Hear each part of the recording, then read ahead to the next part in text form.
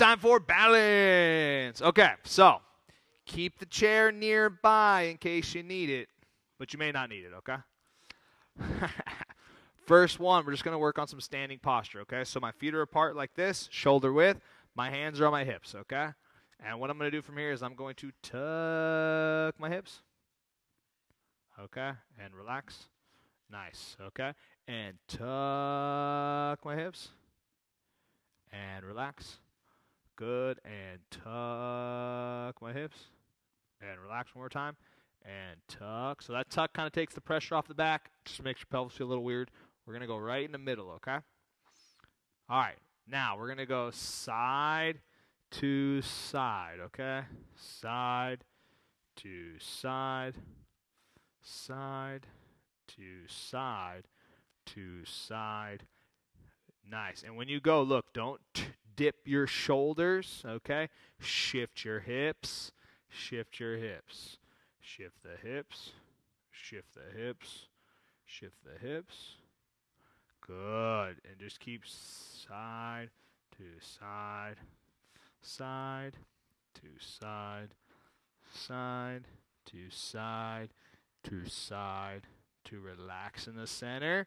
Good. Now, same exercise, but when I shift, I'm going to lift my other leg and then shift and lift the opposite leg. So shift and lift, shift and lift. Just real quick for about one second. Make sure you're not leaning, okay? Lift. There you go. Uh, alternate legs. One, two, side, side, two, side, side, two, side, two, side, and recover. Good. Okay, now, right foot forward. We're going to rock back, and we're going to rock forward. Now, same principle, right? I don't want to send my shoulders. I want to rock with my hips, okay?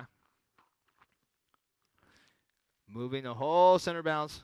Yeah, there it is, okay? Now we're going to lift the back foot, lift the front foot, okay? This is a rocking horse. Good. Rock and rock. Good. Don't lean forward. Okay, we'll go over that in a second. All right, now if you want to look cool, what you do is you go back, feet, step, and switch. Hey! It's like line dancing.